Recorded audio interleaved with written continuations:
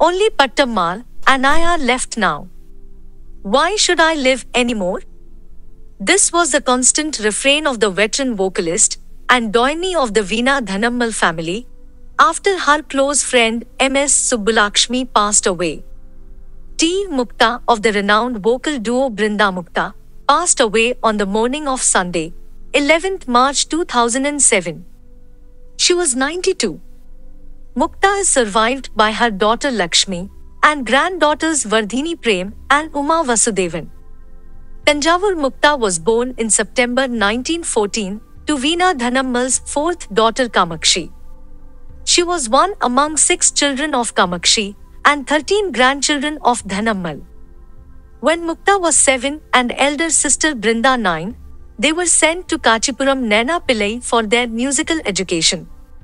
In the four years that they stayed at Kanchipuram, Brinda and Mukta learnt as many as 400 compositions of Tyagaraja, a few compositions of Syama Sastri and Subbaraya Sastri, and innumerable Tevaram and Tiruppugazh songs. Naina Pillai was satisfied with their progress and asked Kamakshi to take them back and polish their music in your mother's incomparable bani. Back home, Brindamukta's aunt Lakshmiratnam became their guru. She taught them innumerable compositions of Dikshitar, Syama Sastri, Subbaraya Sastri, Gopalakrishna Bharathi, and their family treasure of Padamis and Javaliyas and molded their music along the lines of their inimitable grandmother. A grateful Mukta would later in life give Lakshmiratnam's name to her only daughter. Dhanammal herself taught Brinda and Mukta about 30 to 40 compositions. Though Brinda and Mukta started giving concerts at a very early age, the turning point came in 1934 when they performed at the Rama Navami celebrations organized by their Guru Nainapi in Kanchipuram. An ailing Naina was especially pleased with the singing of Mukta, and he blessed both the sisters. He died soon after. Brindamukta's career never looked back. After that, and for almost four decades, they performed together. With their younger sister Abhiramasundari accompanying them on the violin, the sisters' tradition bound music, soaked in melodic purity and full of deep feeling, was found most moving by listeners. Brindamukta's music was not for the ordinary brand of Rasikais, it was for the well initiated and the knowledgeable. They did not draw large crowds, unlike their contemporaries, though many veteran musicians were avid Rasikais of the duo. Some like Semmangudi and MS even learnt from Brinda. When the duo parted, Mukta began giving concerts alone, accompanied by one or the other of her disciples. Her music acquired a unique sheen. For the next 34 years, Mukta sang tirelessly and taught a number of disciples, prominent among whom are R. Vedavalli, Nirmala Sarthi, Nirmala Sundararajan, Rita Rajan, Meera Seshadri, and S. Sowmya. She also taught a few of her nephews and nieces. She was very kind to her disciples and gave of her all. Noble and generous to a fault, Mukta had a good word for everyone. She was known as the softest face of the Dhanammal family.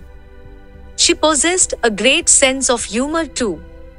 Mukta's last public concert was at the Musiri Subramania Iyer home in Chennai in January 2004.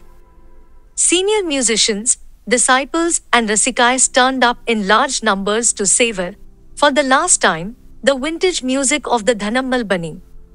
Mukta was the recipient of the Sangeet Natak Akademi Award, 1972, All India Radio's National Artist Award, and the Music Academy's Sangeeta Kala Acharya Award. One by one, her relatives left this world. All her brothers, her sister Abhiramasundari, and her cousins Balasaraswati and Ranga died before the last decade of the 20th century began.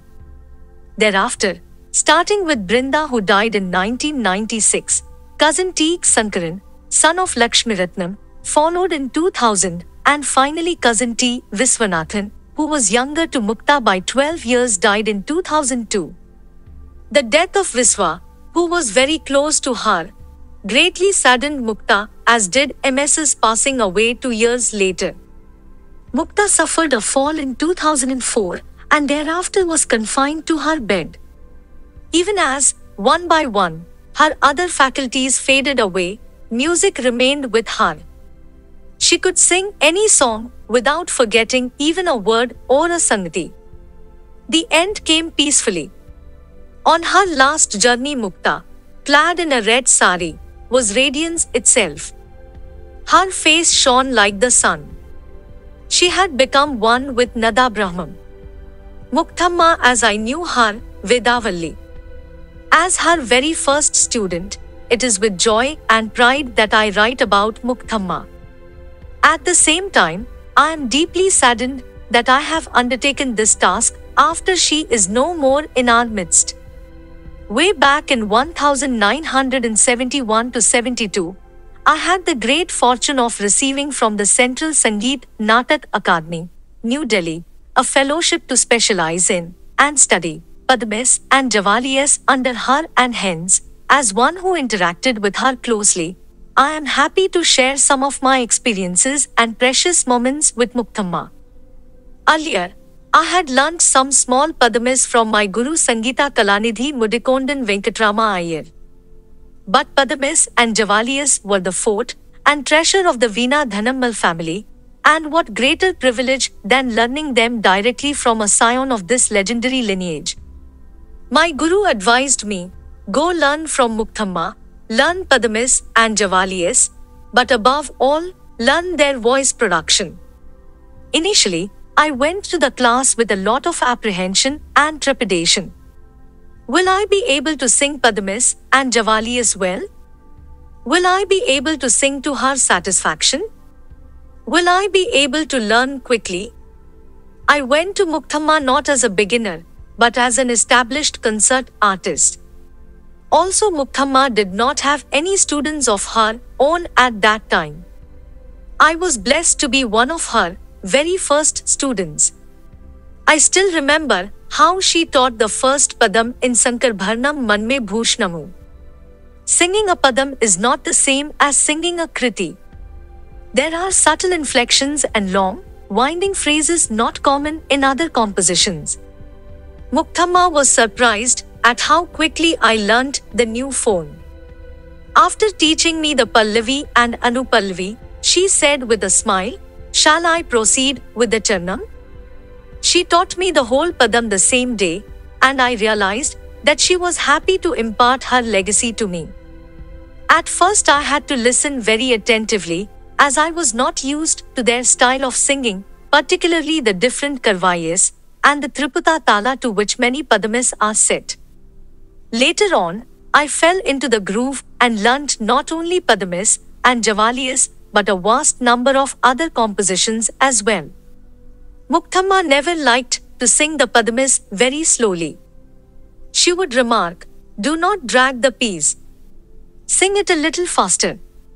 Those were the days of the oral tradition, as tapes and other audio aids were not very common. I used to notate the Padamis and Javalis as soon as I learnt them so as to keep them in the authentic form without change. Muktamma once remarked, We learnt the Padamis in the oral tradition and have no written records. You have notated each song beautifully. Will you give me a copy? Thereafter, I notated each song that I learnt from her and gave her a copy of the script. Later, many students benefited from those notations. They found it easier to learn with the notation. Learning music was very different in those days. It was not easy to learn songs unless the teacher was willing to share his or her knowledge. Rare compositions were seldom taught and were preserved and jealously guarded. It is not so today. If one wants to learn a particular composition, one can get it from somewhere in the globe. Even if it is sung in one part of the earth, it can be learnt and sung somewhere far away. All this is done with ease because of advanced technology and communication. When I learnt from Muktamma, I was told not to teach the pieces to all and sundry. Learn all you want from me, but do not give it out easily to one and all. I promised her that I would treasure all that I learned from her. Many years later, an audio recording company approached me to record Padamis and Javalias. I went to seek Mukthamma's permission. I was a little nervous about approaching her, as it was a time when she was still singing well and could have herself rendered the songs. Her response was, Go ahead. Sing well. Sing what you have learned. She gave me her unstinting support and blessings. That was the first audio production of Padamis and Javaliyas. It was particularly useful for dancers as the Padam is a singularly important item for them. Subsequently, it was made into a CD. When I first went to learn from Mukthamma, it was like attending any other music class, repeating the earlier lesson and then learning a new one before going home. But over time, a bonding and a friendship developed between the two of us, the unique Guru Sishya Bhava blossom. It was the sharing of a common interest, moving towards a common goal. Whenever I visited Mukthamma at home, apart from singing, we had many interesting conversations.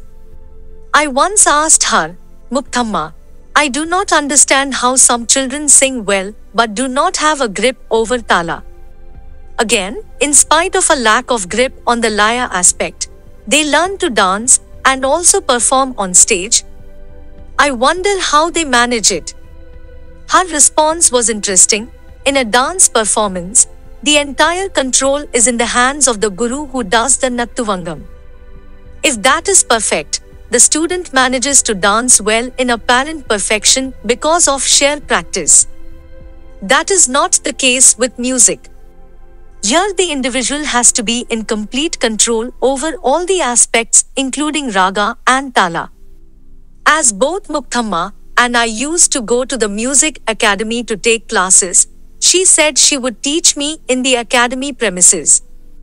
At times, she would come home to teach, but would not even take water while teaching. As she had the habit of taking a few cloves before singing, she would ask for some. She had a wonderfully rich voice capable of traversing the upper registers with ease. In fact, in many of the Padamis and Kritiyas that she and her sister Brindamma rendered together, Brindamma would render the lower octave while she would sing the same in the upper octave. When Mukthamma started singing alone later, she continued to sing certain lines in the upper octave as that was what she was comfortable with. She told me that while her sister learned formally from Kanchipuram Naina Pillai, her own learning had been by listening while her sister learned. Mukthamma was, for a very long time, in the shadow of Brindamma, but when she came out of it, she proved that she was a great singer. Her voice had a wonderful reach. Even at the age of 80, her pitch had not gone down much, and she was able to render Sangatiyas with ease. She had the memory of an elephant, not forgetting a single line or a single sangati of a piece. While padamis are rendered in a slow tempo, there are subtle and fast sangatiyas which require a great deal of maturity and practice to sing. Mukthamma was a perfectionist. When she taught, she made sure that the song was learned absolutely perfectly. She had the patience to go over it again and again until this was achieved. Apart from Padamis and Javaliyas, Mukthamma had a rich repertoire of the compositions of the Trinity and other composers. At times, I was in a dilemma as to how to render certain songs. The Gaulipantu Padam Kuvalyakshiro is a majestic piece, but is rendered with Prati Madhyamam in the Brinda Mukta school, whereas I am used to singing the same raga with the Suddha Madhyamam. It is a known fact that in their way of rendition there are some changes and differences in Pathantaram. I therefore asked her, Mukthamma, how can I sing the same raga into different ways? Her reply was straightforward and simple. This is the way I have learnt it. Do not tell me about this Madhyamam and that Gandharam. I have always learnt without going into technicalities. You can feel free to render it differently. She always spoke with a touch of humor and never hurt anyone. She knew very well that her school had changed some ragas, but she sang them in that manner, as that was their family tradition. At the same time, she never insisted that I should sing it the same way. Destiny works in strange ways. In December 1983, Mukthamma was to render Padamis at one of the sessions at the morning conference of the Music Academy presided over by D.R.S. Pinakapani. Coincidentally, I presented a lectum on Venkatamakhi's Prabandhais in the first session the same morning. As soon as my program was over, I took my seat in the auditorium to listen to my guru. There seemed to be some delay, and everyone was wondering when Mukthamma would arrive and begin her program. T.S. Parthasarathi was the secretary at that time. Suddenly, I received a note from him your Guru Mukthamma has had some unexpected problem and is not able to come. Can you sing instead? This took me totally by surprise, leaving me with no time to think. On the one hand, I was disappointed that I could not hear Mukthamma sing. On the other, it was a godsend opportunity for me to sing in my Guru's place.